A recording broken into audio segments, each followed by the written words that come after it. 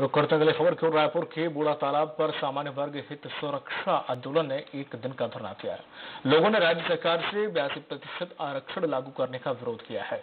लोगों का कहना है कि 50 प्रतिशत से ज़्यादा आरक्षण संविधान का अपमान है और इससे प्रतिभाओं का अपमान होगा। उन्होंने कहा कि सरकार का यह फैसला राष्ट्र के हित में नहीं है।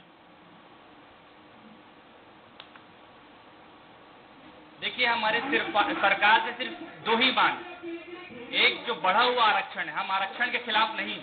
सुप्रीम कोर्ट की गाइडलाइन है पचास प्रतिशत आरक्षण। अभी भी ऐसे कई जरूरतमंद हो जिसको दे और हम उसके साथ हैं। लेकिन जो ये आरक्षण बयासी परसेंट कर दिया, जिसके सामान्य वर्ग के लिए कुछ बचा ही नहीं है। ना वो शैक्षणिक योग्यता रख रख के कुछ कर पाएँगे, ना उनको सरकारी नौकरी मिलेगी, ना ही उनका कोई राजनीति में कोई वर्चस्व बचेगा। तो हमारी सरकार से यही एक निवेदन है कि बढ़ा हुआ आरक्षण वापस लें। और जो दूसरा है, आज आप देखोगे एस टी वर्ग का, ओबीसी वर्ग का, हर किसी का आयोग है। सामान्य वर्ग के लिए कुछ नहीं है। जबकि देश की अर्थव्यवस्था पूरी की पूरी, आप देखें तो लगभग 80 प्रतिशत सामान्य वर्ग संभालता है। आज वो जाएगा तो कहाँ जाएगा? उसके लिए कोई भी नहीं है। तो हमारी सरकार से सिर्फ़ यही मांग है कि बासी परसेंट आरक्षण वापस ले और सामान्य वर्ग आयोग का गठन करे।